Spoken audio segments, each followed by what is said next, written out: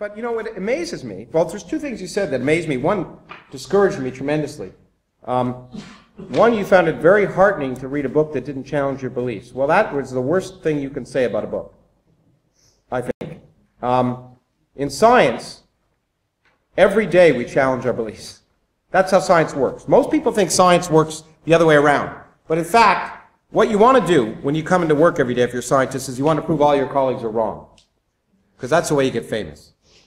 And, um, and in fact, the key thing as Richard Feynman, who I wrote another book about and I've lectured here in Canberra about, would say that, you know, the, the, what you try and do if you have an idea, if you're a scientist, is you have a theory and you try and prove it right, but you try and prove it wrong. You try and spend more time proving it wrong. Because, the, first of all, the easiest person to fool is yourself.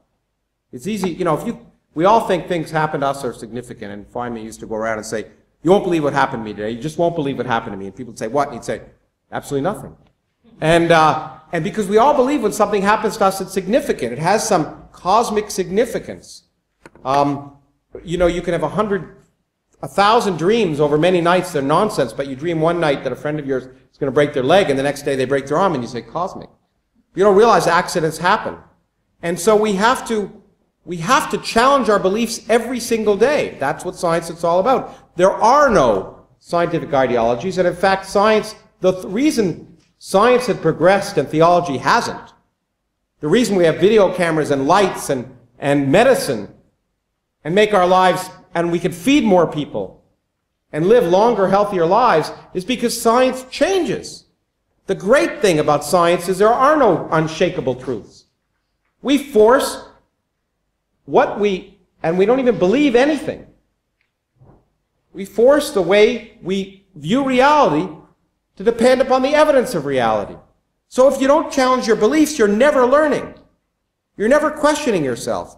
And so I hope that every student who ever goes to university at one point in their life has the opportunity to have something that is at the heart of their being, something so central to their being that if they lose it, they won't feel they're human anymore, to be proved wrong. Because that's the liberation that science provides. The realization that to assume the truth, to assume the answer before you ask the questions, leads you nowhere. And that's why, that's why science has led to a modern world where, in fact, we can make progress.